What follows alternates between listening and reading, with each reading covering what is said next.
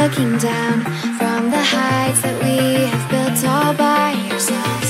And there is fear of the unknown, but we cannot lose control when we feel like the world is against us.